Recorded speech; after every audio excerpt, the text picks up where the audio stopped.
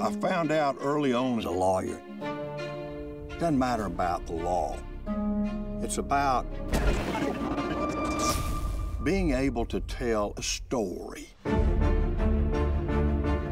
When you turn a courtroom into a studio, you have to turn reality into a story with good guys, bad guys, drama.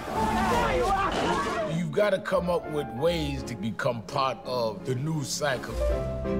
I'm not saying the trials are theater, but court of public opinion is very important. Because if everybody in the building likes these guys, they must be the good guys, right? Nobody had committed murder as a result of being on a trash talk show. You use those people. That's not quite the way I see it. I wanted to kill those guys. If it bleeds, it leads. He'd raise me 500 grand if I made him a senator. He absolutely embraced the media's attention. You ain't seen nothing yet. The NYPD shot someone 41 times. No more, no more! The media didn't have any interest in discussing who he was.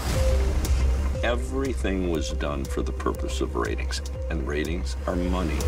I really wasn't sure that what I was seeing was real. Stop the cameras. Let's let's stop right here.